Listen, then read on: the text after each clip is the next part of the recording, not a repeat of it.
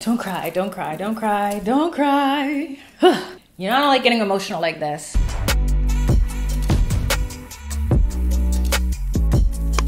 Hey loves, it's A back on your screen with another one. Hope you're well. As you can tell from the title, today we're discussing Atlanta Season 4, Episode 7, Snipe Hunt.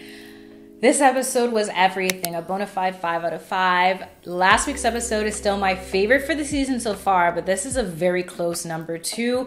It was unexpected, it was eerie, and it also gave me the feels. It was very Guys, let me know if I was the only one, but I was watching this episode, anxiety on level high, and that lets you know. As per usual, what does Atlanta like to do? Put a mirror up to you and let you know that how you perceive things, your perspective sometimes needs to be shifted. I watched this show thinking it was gonna give a horror or supernatural vibe. I mean, after all, Black People in the Woods, where they do that at. Not only that, based on what we've seen, whether it be this show or other shows, when things are going well, they go way left, right? And I think for me, this gave me a moment of pause to appreciate the moment. That is one of the biggest themes from this episode. I'll keep it real with you. When I first watched this, I was like, yo, this is boring, especially compared to last week's antics. That's why that week is my favorite. But I love this for different reasons. I think one of my subbies put it best Atlanta is a perfect pairing of real and surreal. There's so much reality, even when things are popping off and going crazy. But it reminds you that life is crazy, and sometimes what we don't expect to be real or from the culture, when we get our Googles on, it actually happened or actually is. And this episode is no different. The episode opens up with Sade, and I'm feeling the vibe. One thing I've always loved about Sade is that her music is so calming and grounding, which is very parallel to the energy that Van has in this episode. And now that I think about it, with exception of protecting her daughter, or when she got her badass self off in Paris, she's always been grounded and relatable and reasonable. So, listening to Sade, I was thinking, who put this track on? It is Your Love is King, but it started to allow the awkwardness to settle in. We don't hear any words. As it's panning in, we see the shots of the woods and we see these two parents in a car. I'm wondering what's the status because it's giving co parent right now. And when Van says slow down, I read that two ways. Slow down because you're driving too fast and we might miss where we're going, but slow down because what's the rush? And that's one of the biggest themes of this episode. Of course, once they meet the guy who I guess keeps the grounds, he has the same energy. Just slow down. There's kids, there's dogs, there's deers. He was so cheerful I hate to say this, guys, but this shows you how jaded I am. I instantly read this as, yo, he's gonna jiggy them up. At some point in the night, he's gonna snatch up Lottie or hold these people hostage. Something's gonna pop off. I don't do horror movies, but all I do know is black people in the force is not a good thing, okay? And him being too nice, again, this shows you the shows I've watched have really changed my perspective, but also the experience I've had in my life. Something was gonna go down the entire episode, and I think that's why my anxiety was level high because I'm like, it's too good to be true. And that's really sad to say. Atlanta has this magical way of holding a mirror up to ourselves. I've said it before, I'm gonna say it again, where we see something one way, but it puts it on its axis. Why do I or you watch an episode like this and have this undercurrent and this feeling lingering there of discomfort, unease, unrest, anxiety? Is it because of what we watch? Is it because of what we experience? Is it because of what this show has shown us before? Whichever way it goes, we didn't need to have that kind of energy. And if you watch it again, you watch it with new eyes, even though you've already seen it. You're not watching it feeling like, who's in the woods or what's this guy's vibe. You watch it as this is a family going on a vacation. I wish I could have had that sentiment on first watch, but I think that's why episodes and shows like this in general have such a good place in the culture. Even when they're unpacking the car, there's still this feeling of awkwardness as the three of them are walking towards the campsite and Lottie's walking a little bit ahead. The conversation is just, it's meh. This episode was boring until it wasn't, but we'll get to it. They start to set up the tent, and I'm laughing because Earn decides to do the most and get a 12 person tent, and Van just cool, calm, collected as per usual lets him know, hey, actually, we're gonna be freezing because body heat is what never mind. Let me just set it up for you. It's clear that she knows what she's doing. I feel like Van has always been the one that's grounded and in control and reasonable, and Earn's kind of like, let's just go out and do all the things, the big risk taker. And their personalities and how they're paralleled and dissonant really shows throughout this entire episode. It's almost as if they showed us these characters over four seasons in one episode. That's how I felt about it. So there's one point where they asked Lottie to help. She's like, nope. I thought she was gonna pull out her iPad real quick. Because when she was in the car, she was not having saying hi to that guy. She just looked at him like, yo, Lottie had a lot of attitude in this episode. She told her dad, oh, you can sleep outside. He's like, okay, I'll get my toothbrush. I feel bad for him, but I said, you know, kids are very intuitive, so something must have happened, and that's why she keeps responding or not responding to him the way that she did. Instead, she goes towards the water, leans in, and looks with the curiosity only a child has. And I'm like, girl, don't do that. Don't do that because you look and someone looks back at you. I'm not here for that. Again, I don't do horror. Luckily, there's nothing, just beautiful nature, peace, and serenity. It's so serene. They sent a. they sent. I didn't laugh that much during this episode, but I did when they set up the tent because I said, What is that? You're gonna sleep in that, it's gonna collapse on you in the night. I don't know if they actually slept or if it was the same day, but either way, it's Lottie's birthday. They go on a walk, they get to this river, and here comes the personalities and the differences. Earn wants to take his whole child and cross the rapids, and Van has to again be the voice of reason and no, slow down, don't rush. Again, that same sentiment of slowing down enjoying the process. It is the becoming and not the journey, or actually, it is the journey. It is the becoming and not the getting to the goal or the destination that matters. It's the journey and being able to spend time. And we see Van give looks that I can't really discern. It wasn't the same eyes that she gave him when he said all those things to the three ladies about, you know, Van is better than me she's a good mother, she's intelligent, she's all that. That look was not the same as this one. It was almost like a catching yourself from falling again, if you know what I mean. Or maybe, you know, I am legally blind, so I try to read into things since I can't read regularly anymore. When Earn's trying to get his dad jokes off, and Lottie's like, no, that's not how it works. And he's like, well, it's opposite. I instantly thought about how this is an opposite to the Helen episode where Van was longing for something that Earn couldn't give her. And without saying too much about my business, when that episode dropped, I was in a similar situation and I was triggered, okay? It really hurts in a different kind of way when you watch an actress as immaculate as Zazie Beetz demonstrate what it feels like to want to be with someone who doesn't want to be enough for themselves to be with you. And we see that Earn's been going to therapy, and although he hasn't been applying it because he's still spiteful, he's putting into practice some of the things. That's why he brought up Atlanta to LA and she kind of shut him down while building the tent. I thought that was interesting because I always figured Van would be direct and just say no. So when she's like, let's talk about it later, I said, what's a better time than now?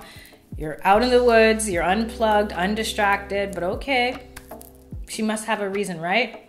They get to the picnic site, and as per usual, what Atlanta does so well is they pair culture, history, and real life into their fictitious story.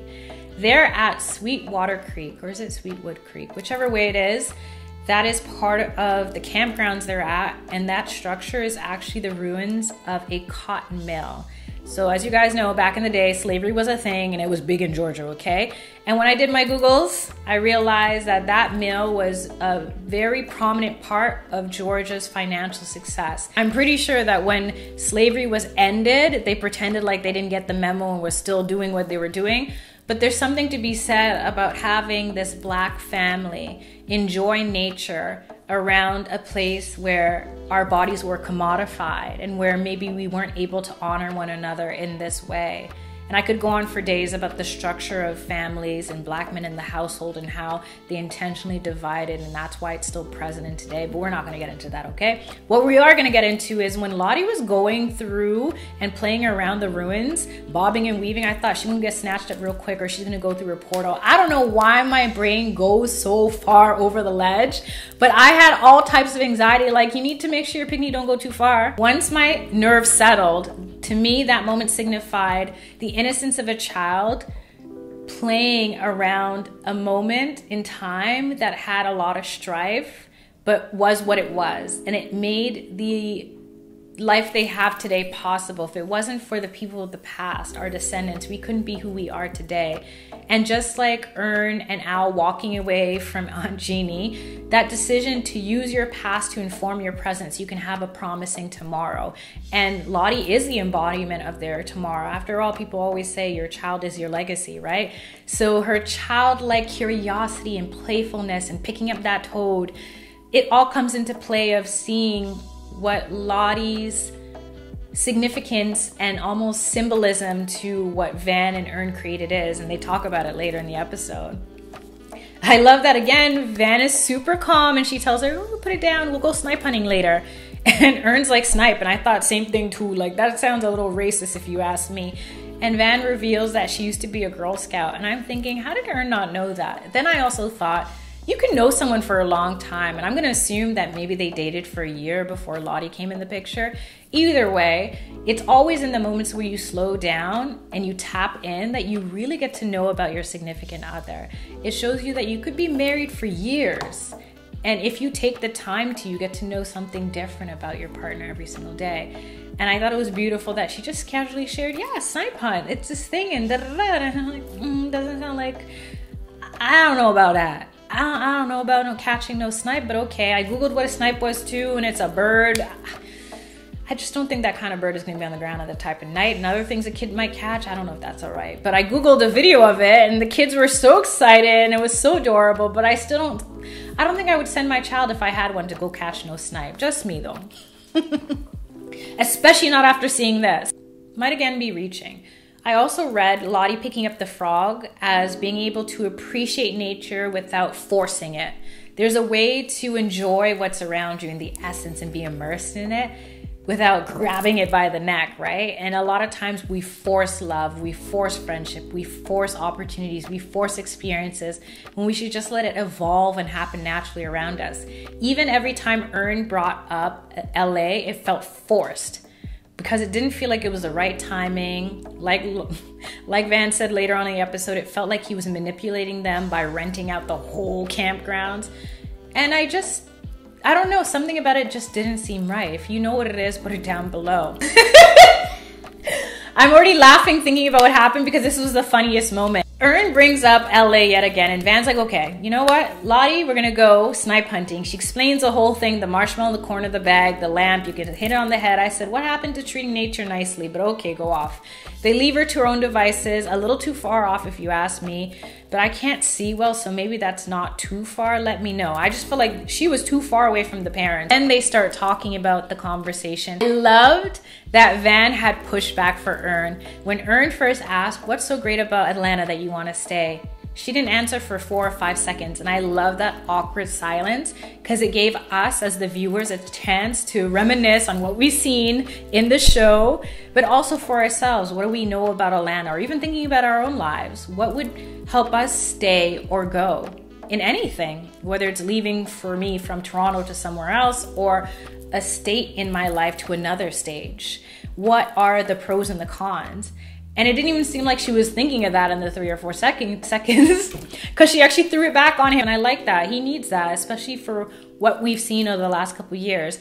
It doesn't seem like she's the same Van and Helen that is worried about only being seen as Lottie's mom. Boy, was I wrong. So as we get into this conversation, of course, Lottie's like, I caught it. They look at each other like, caught what? They go over, you hear some snarling and growling. I said, what in the demonic ish is this? I'm not here for this. Return to sender. I love when Van says, You're gonna run to me in one, two, three. They're both like, What is it? I didn't see it. If you saw it, what did it look like? Because that did not sound like no bird. That sounded like a reptile, amphibian, I don't know what. And it's time to cool down and sing happy birthday. Lottie puts up her one hand. I'm looking at the candle. I zoomed and I said, six? No way, she's not five turning six. This girl's five turning 15. I was way wrong and way off a couple weeks ago when I said she's probably eight to 12 because she acts so mature and grown. Only children are like that though, I've noticed. So when she put her hand up, I said, yo, this girl, one of a kind, one of a kind. I thought all kids like to be sung to, but I was wrong. Then at night, you hear Earn's teeth? that moment killed me. So Van invites him over to their spot, asks Lottie if she wants some more. What are you doing? Just making sure she's asleep. And then he starts to ask again incessantly about LA, and Van is more direct and kind of savage. You know, I don't want to go. I don't want to go as Lottie's mom. I don't want to go as your security blanket. I don't want to go. Every reason she gave, I was here for. And I want to see this family unit together, but I don't want it to be for the wrong reasons. And I think I learned that from the Helen episode to now that she needs that for her mental health, for the sake of being a good parent to Lottie, and because she deserves better. And what I didn't expect was for Earn to step out of who he used to be and become so vulnerable, even saying, I've never done this before, sitting up with the lighting on his face, just everything about this episode was perfection. He professes his love, but not before that does he say, Well, you know, I'm a good looking guy, nothing's tethering me, I won't have a hard time. Why do guys do that? I need to know because it never, it always turns me off when someone starts like that. You don't think I already know? It's not about bringing the table. We're both the table. So you ain't got to tell me what you have. You don't got to tell me where you can go. If you need to, you should go. So I was already turned off when he started like that. But when he started talking about he wants to be with her, not because Lottie's her daughter, it's because she is her. And that really did everything that Van needed. And that's why she started to cry. And I'm like, don't cry, don't cry. It's not that kind of show. We're not going to cry. It was such a beautiful moment damn, the writers could definitely do a romantic comedy after this if they wanted to, because I did not expect this. It was raw, it was real, it was grounding, it was authentic, it wasn't over the top. Although Van did throw in that slight she did throw some shade and say, you know, you're giving Kanye passionate, which perfect timing yet again. Yet again, because if you know what Kanye was up to on Drink Champs last week, I don't want to get canceled, so let me not say nothing. He was giving Kanye passionate, and it is crazy to be in love. There is that intoxicating, infectious feeling when you're in love and you can't even hold it. And he did such a good job of sharing that in his voice, the way it changed, the intonation and the lighting and the facial expressions, in the conveying of how he desires her. And he's had that feeling since Amsterdam. I think he's had that feeling from before Amsterdam, but her leaving him in the dust, that did it for him. And sometimes you need that. Sometimes you need to give someone the space. Just like I said, it's symbolic of letting things happen naturally and letting it take its course instead of forcing it. This happened way more organically. He came to this idea on his own, whether with the assistance of Tillman, his therapist, or realizations over time. It's earned professing his love, not because he's been told to, he has no other choice to, but because, yes, he's a little manipulative and he wants her to go to LA, but he also wants her to know no matter what happens, this is how he feels. And it's enough for her. She says yes. I mean, who's to say we won't change in the next, what, two, three episodes? But at this point, we all have the feels. And I laugh because the next scene we see is Lottie's feet and them all moved out. As soon as they said, oh yeah, there must have been a lean. There was definitely a lean. You definitely slid. It's morning and the energy's completely shifted. It's lovely dovey in the air. And then Earn says it's supposed to rain today. And then you hear the sound and they try to dismantle that mashup tent. He says leave it behind because he's rich, rich. They pack up the car and then you hear Sade again.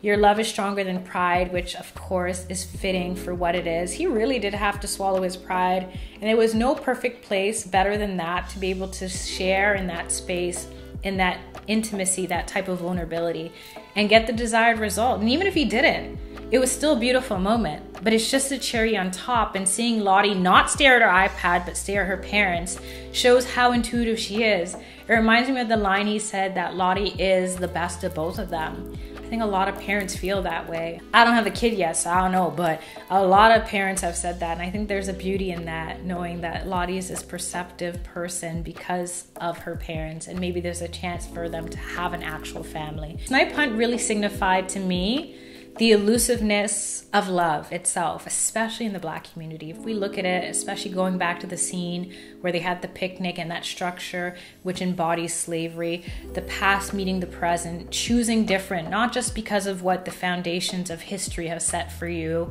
or what your family has done before, but deciding different because that's what you want. Not forcing things, but allowing things to evolve effortlessly with ease, naturally, to what it should be and letting that be what it is in its essence in the moment. There's so much I could say and get into, but I'm sure you guys read the same. And if you've read anything else that you want to add, leave it for the community down below. Hit the like to let the algorithm know that you like these kind of episodes and help the channel grow by subscribing too. I'm trying to think off the top anything else I'd add to this, but Snipe Hunt was amazing on so many levels. It definitely was unexpected, but in a good kind of way. And I think it wraps up this plot line well enough for us to appreciate whatever the next two or three episodes have to say before it's all done. What if we get a whole nother series called LA?